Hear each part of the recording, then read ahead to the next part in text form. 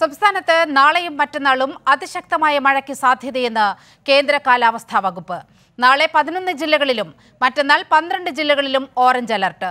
ഈ മാസം ഇരുപത്തിമൂന്ന് വരെ സംസ്ഥാനത്ത് ശക്തമായ കാറ്റിന് സാധ്യതയുണ്ടെന്നും മുന്നറിയിപ്പുണ്ട്. പതിനൊന്ന് ഡാമുകളിലാണ് നിലവിൽ റെഡ് അലർട്ട് പ്രഖ്യാപിച്ചിട്ടുള്ളത്.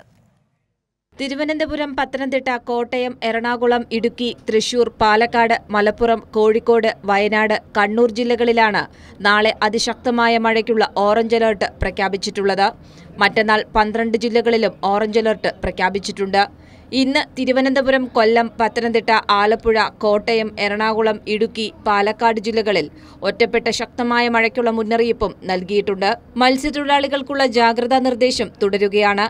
കേരള ലക്ഷദ്വീപ് തീരങ്ങളിൽ മണിക്കൂറിൽ നാൽപ്പത് മുതൽ അൻപത് കിലോമീറ്റർ വേഗതയിൽ കാറ്റ് വീശാൻ സാധ്യതയുണ്ടെന്നും കേന്ദ്ര കാലാവസ്ഥാ വകുപ്പ് അറിയിച്ചു. മഴ മുന്നറിയിപ്പിന്റെ പശ്ചാത്തലത്തിൽ സംസ്ഥാന ദുരന്ത നിവാരണ അതോറിറ്റിയും ജില്ലാ ഭരണകൂടങ്ങളോട് ആവശ്യമായ മുന്നൊരുക്കങ്ങൾ വേഗത്തിൽ പൂർത്തിയാക്കാൻ നിർദ്ദേശിച്ചു. കെ എസ് ഇ ബിയുടെ ഒൻപത് ഡാമുകളിലും ജലസേചന വകുപ്പിന്റെ രണ്ട് ഡാമുകളിലും റെഡ് അലേർട്ട് നിലനിൽക്കുകയാണ്. ഈ ഡാമുകളുടെ സ്ഥിതി വിദഗ്ധ സമിതി നിരീക്ഷിക്കുന്നുമുണ്ട്. കൈരളി ന്യൂസ് തിരുവനന്തപുരം.